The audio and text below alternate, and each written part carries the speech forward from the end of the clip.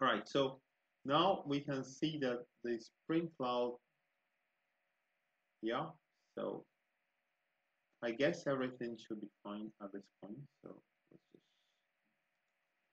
so let's see where we are. So the next thing is copy over. We've done this.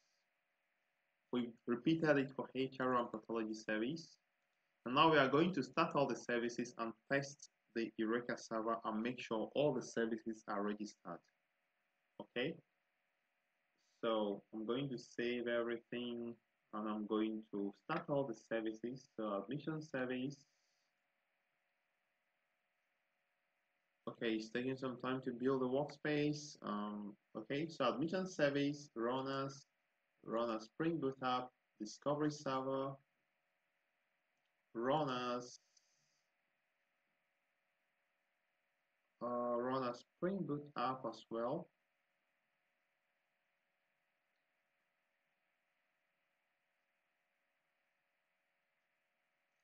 Run a spring okay so we have some errors so let me see.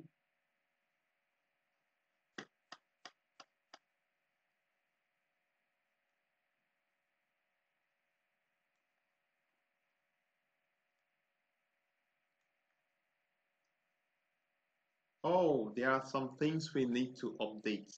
There are some things we need to update so let's go to the web page I can show you so application the properties file for the discovery server, I need to add this port, that is one.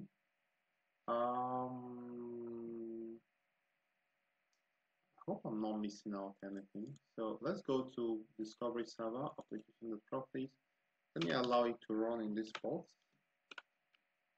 All right, so um, so let's take a little break Let's take a little break and then we come back and solve all these problems. All right, so we are trying to we are trying to test all this uh, everything to make sure that this the services are now registered with the Eureka server.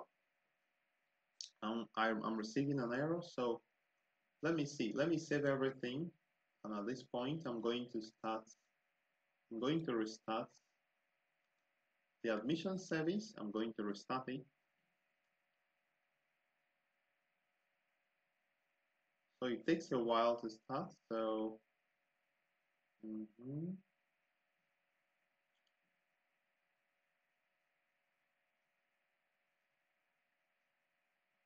So admission service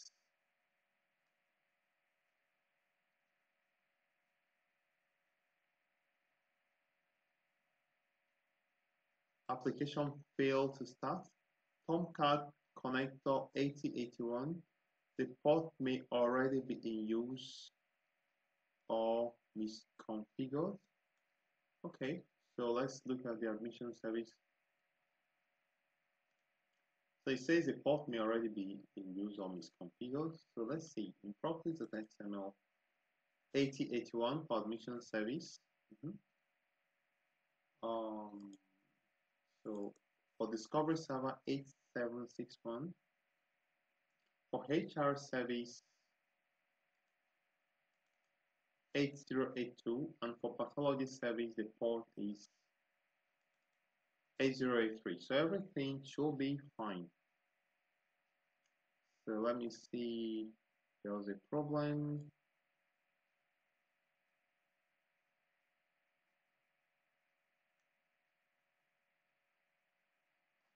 All right, so let's see where this problem is coming from.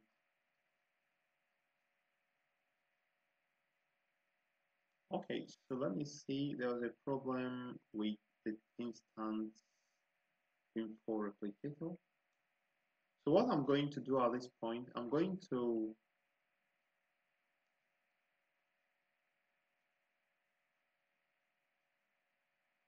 uh, let's see. I, I think I should know where the problem is coming from. It should be coming from the admissions results. So let's see. The admissions results. I may have forgotten to change this port, the port for the HRL for the pathology service call to 8083. So as you okay, I did change it to 8083. so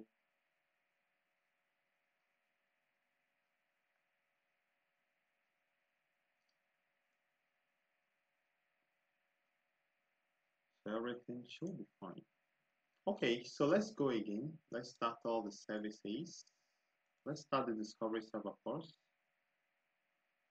but before we do that let's add enable eureka clients to all of them HR service. So I'm going to come here and say add enable Eureka client. Okay, so I'm going to do it for the admission service.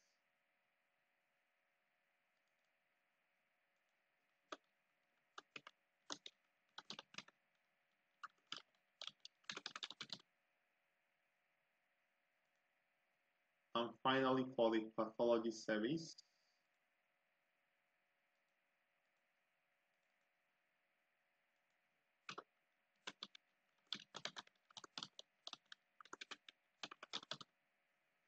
All right, so let's save everything.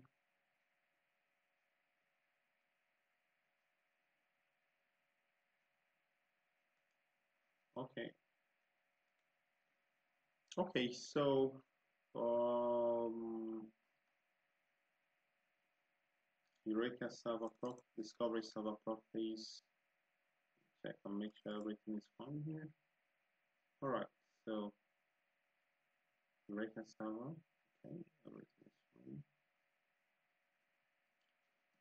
Okay, so I'm going to restart at this point, discovery server.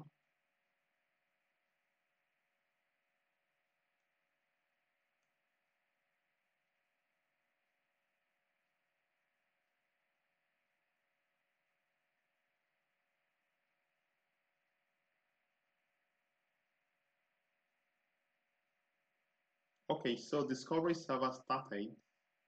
Although it's giving some error, okay. It's giving some errors because it's expecting the client. So let's see, but the clients have not been started. So if I go refresh this page,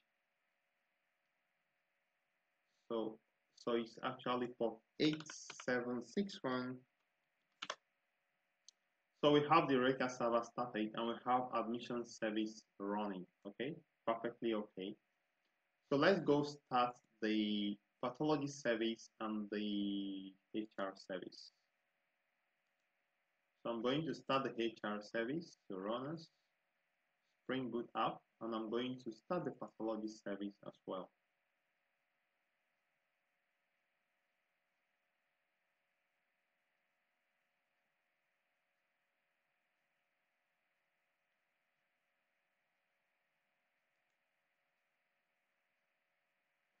So I'm going to start the pathology service as well.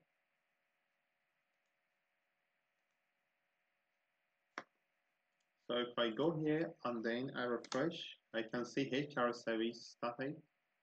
And if I refresh it again, it should have pathology service. So you can see the three services are now registered. The three services are now registered successfully and they are up and running. So we've come this far. I'd like to thank you for viewing and we have one more thing to do.